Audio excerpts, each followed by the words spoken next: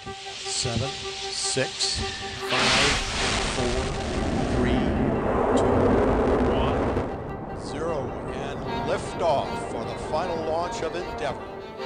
It is a really amazing machine. 122 million miles flown during 25 challenging space flights.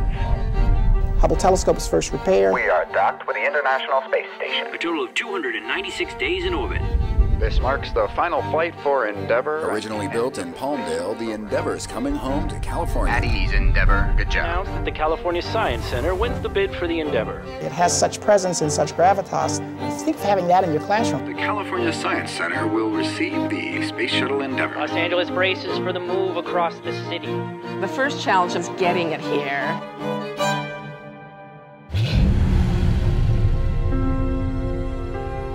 We're all involved in a project that's carrying a national treasure.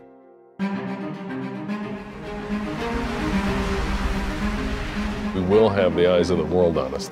We can't miss anything. The pressure's mounting, the anxiety is starting to build. It's going to be an emotional day for everybody involved. This is a real honor. I mean, this is a gift. Can we make it happen? The shuttle is being flown in on its specially modified 747, and it's going to land at Los Angeles Airport and then maneuvered through the streets of Los Angeles to the Science Center, where it's going to live for the rest of its life. We actually have to transport it over 12 miles of urban public streets. This is the first and only time a shuttle is going to be moved through an urban street. It's never been done before, there's no playbook. We face some huge challenges. For one, the orbiter is really big.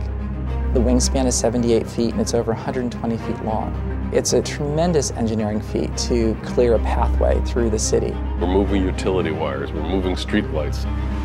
The stoplights have to be controlled and timed so that they don't have complete gridlock. The whole outer surface of the shuttle, the thermal protection system is quite fragile. That a fingernail can actually break one of the tiles. Physically, nothing touches it. The safety of the space shuttle is most important. The idea is to move it on a set of vehicles that allow it the maximum flexibility. This large transporter is robotically controlled. It's actually going to transport the shuttle Endeavour through most of the route.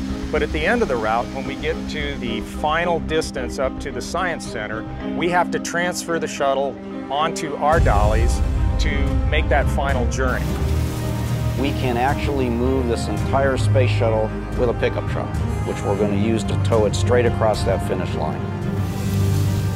Tundras are work trucks. They get stuff done.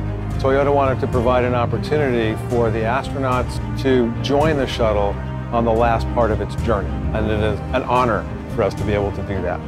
Astronauts have been invited to attend the, the ceremonies for all the space shuttles, but the one I'm really looking forward to is this one, Endeavour coming to Los Angeles. To actually drive the truck that's pulling it would be a very special day for me.